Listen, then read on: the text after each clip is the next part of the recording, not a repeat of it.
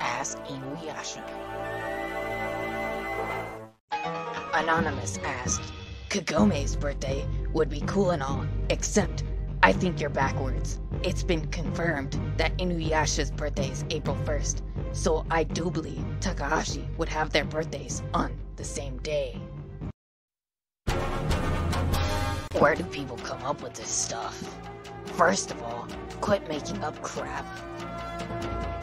I was born in winter, alright?